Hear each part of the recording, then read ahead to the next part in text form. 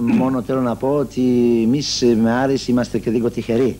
Γιατί πέρσι 2-0 χάσαμε εδώ και βρήκαμε τρόπο και κερδίζαμε 3-0.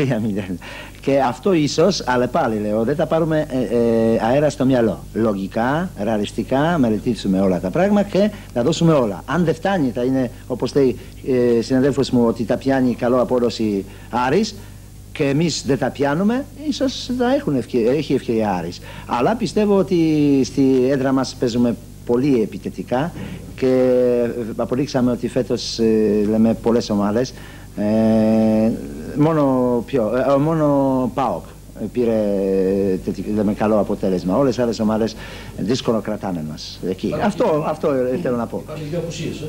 Ναι, βεβαίως. Βεβαίως. Αλλά λέω ότι απουσίε. Ναι, Μιτσιμπόνα και Τσόλη. Αλλά αυτές οι απουσίες. Ε, Τσόλη, ναι, περισσότερο γιατί Γιώργο είναι. Ε, Μιτσιμπόνα είναι τραυματισμένος παράλληλα.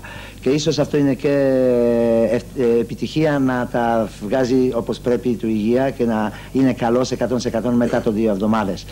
Αλλά κουλουμιτρούσεις είναι λύσεις που τσεκάραμε ε, άλλες, άλλες αγώνες και δεν πιστεύω ότι μας το δυσκολεύει αυτό το πράγμα. Περισσό, λέμε, περισσότερες δυσκολίες βλέπω με αντικαταστάσεις του Τσόλης.